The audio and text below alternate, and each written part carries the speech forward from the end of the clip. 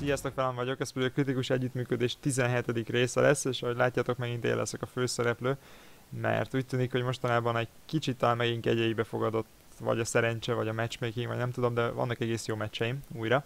És ez leginkább talán is köszönhető, hogy mostanában szinte csak akkor játszok, hogyha Máté és Szocsa is velem jön. Tehát általában szakaszban, és így egy kicsit azért a, az a fájdalom egy kicsit tompítva van, amit néha a kicsit érdekes csapatok okoznak az embernek, mert hárman azért mégis többet lehet hozzátenni, mint egyedül. Na most erről a meccsről most az elején érdemes elmondani, hogy három darab T49-esel vagyunk. A T49-es egy nagyon-nagyon jó tank 5. szintre, szerintem az egyik legjobb pénzkereső, és elképesztő jól meg lehet vele fordítani a csata menetét.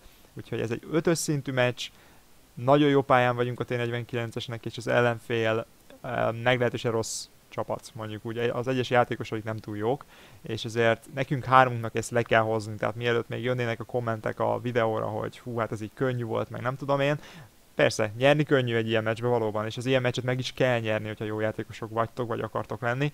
A kérdés az, hogy mennyire nyeritek meg a dolgot, és mi most itt nagyon szeretünk volna. Már az elején azt hiszem, hogy hülyéskedtünk arról, hogy jó lenne egy kritikus csinálni, mert az ilyen meccsekben van rá az esély, hogy könnyen megcsinálja az ember.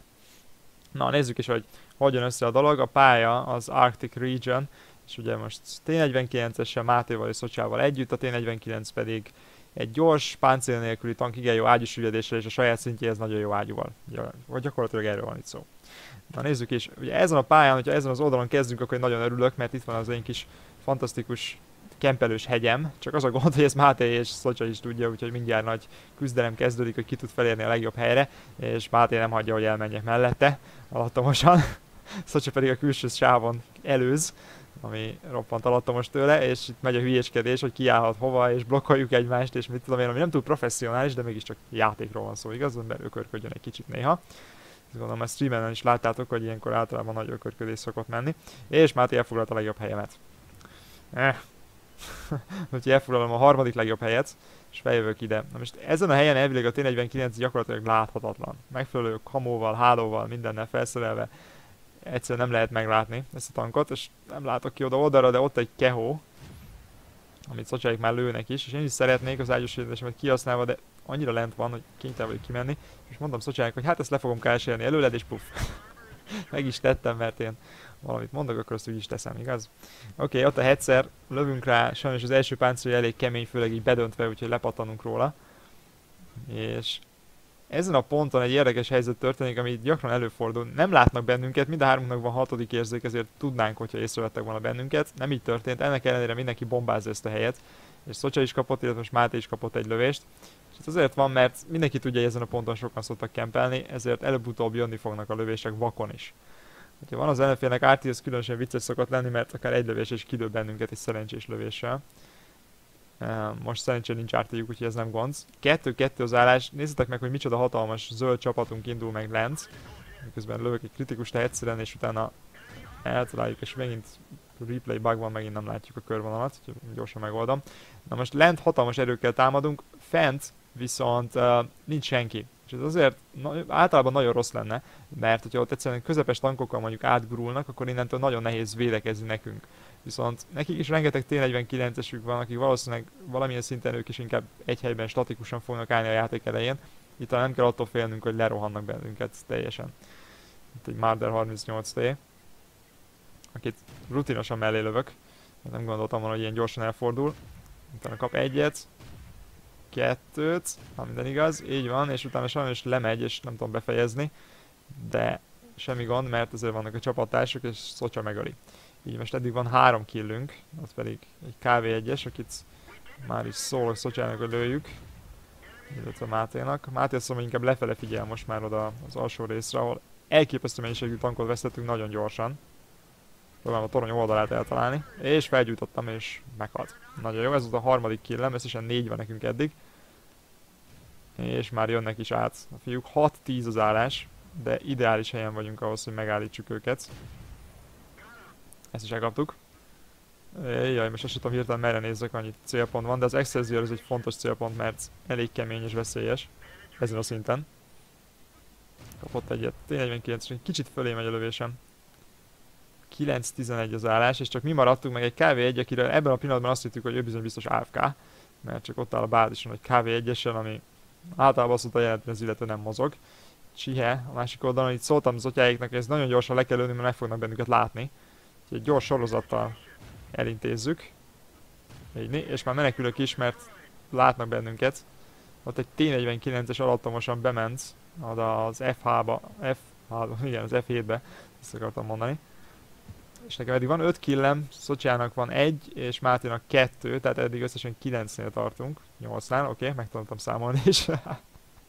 tehát 8 killnél tartunk, még 4-et kell szerezni, legalábbis 5 ellenséges tank van. Ott a Wagen 2-es. Sajnos nem sikerül eltalálnom most. Aucs, kaptam egy lövést. Gyorsan visszavonulok és meghagyom Mátéknak azt a nehéz tankot. És most megvárom, amíg eltűnnek a Svájcról, a Svájc radarjáról úgymond. És utána kimegyek, mert tudom, hogy hiába van közel, mégse fog látni, mert nekem nagyon ki van fejlesztve a T49-esen kamóval, kamóhálóval, mindennel, ami kell, és ráadásul még festésem is van. Tehát most egyetlen célom van az, hogy ő kinézzen. És akkor bizony csúnya világ lesz. Na most nekik van egy Churchill egyesük, aki kb. ugyanaz a kategória, mint a mi kv együnk, valószínűleg ő is AFK bázison.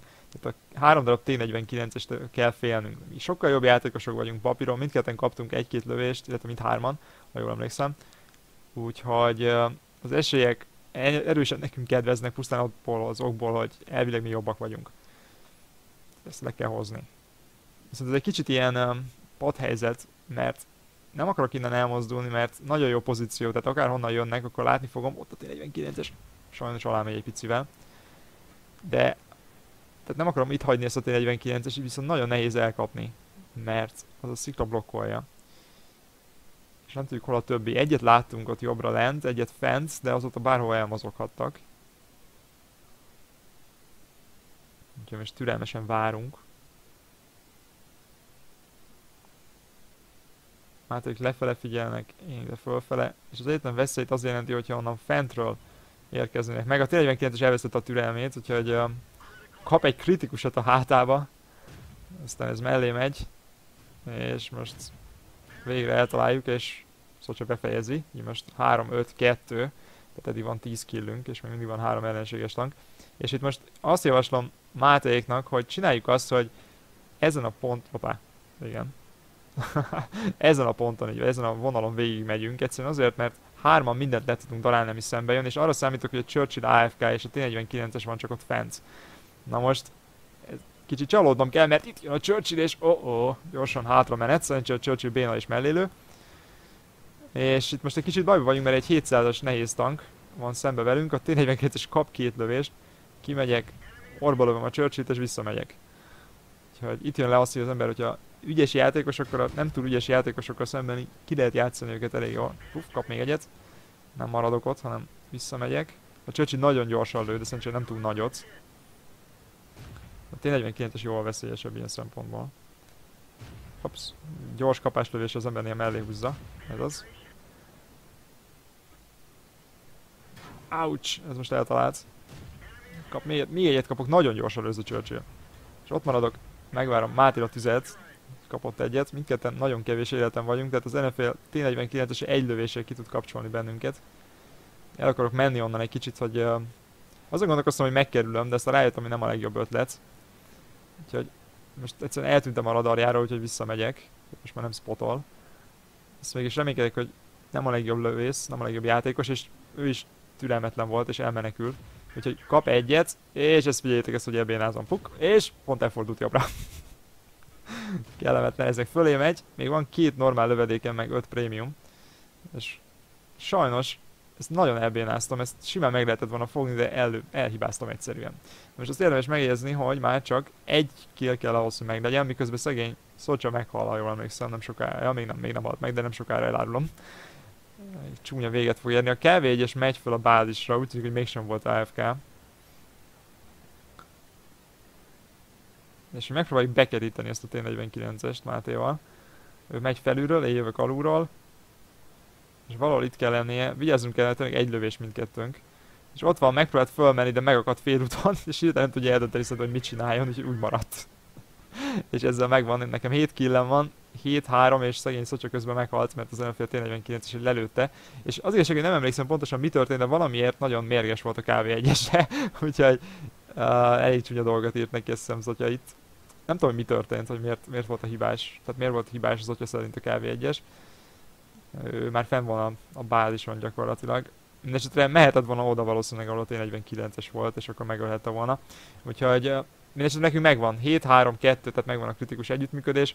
A kv elmegy keppelni, mi pedig vadásszuk a T49-es, egy kicsit felgyorsítom az eseményeket, mert azt elárulom, hogy a srác nagyon jól elbújt.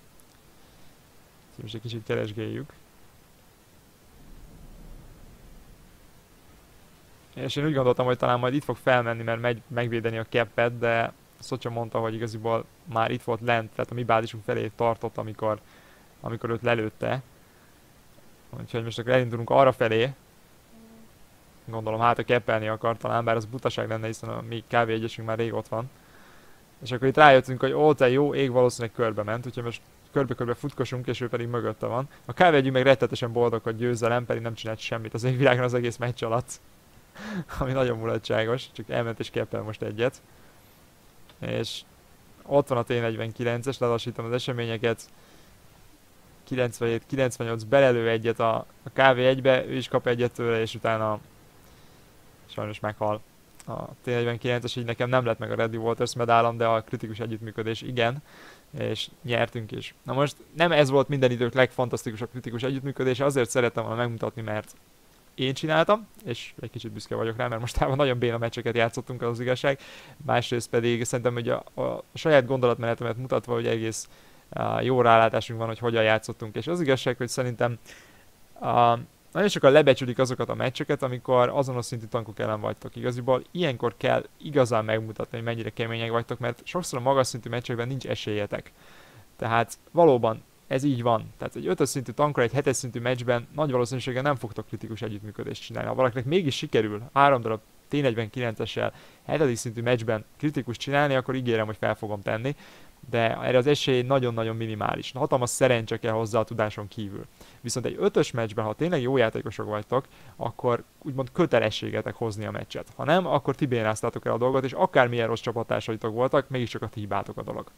Tehát mondjuk ott volt az a szituáció, amikor a churchill illetve a T49-essel harcoltunk, ott nagyon könnyen el lehetett volna rontani, szerintem ott például egész ügyesen játszottuk ki a lapjainkat, ahogy ketten Mátéval mentünk kibe a domb mögé, és szép lassan leszedegettük a nehéz tank 700 HP-ját, és akkor utána még a T49-est is nagy részt lelőttük. Az ilyen szituációkat kell hozni. Ezt javaslom, hogyha ilyenkor elvesztitek, akkor ne másokat uh, nem is tudom, tehát nem másokra próbáljátok fogni, hanem ez bizony a saját hibátok. Mert ha tényleg jók vagytok, akkor azt hozni kell. Na, ezt szeretem volna megmutatni, remélem, hogy tetszett és tanulságos volt. Hogyha igen, akkor iratkozzatok fel a csatornára, még nem tettétek meg. Ha szeretnétek élőben is látni, akkor a Twitch TV-s csatornámat uh, érdemes megnézni, a linket megtaláltuk a videó leírásában. Ha minden igaz, akkor hétvégén fogok streamelni, azt itt meg is jegyzem, általában hétvégén szoktam. És uh, lájkoljátok a videót, illetve lájkoljátok a Facebook oldalt. Sziasztok!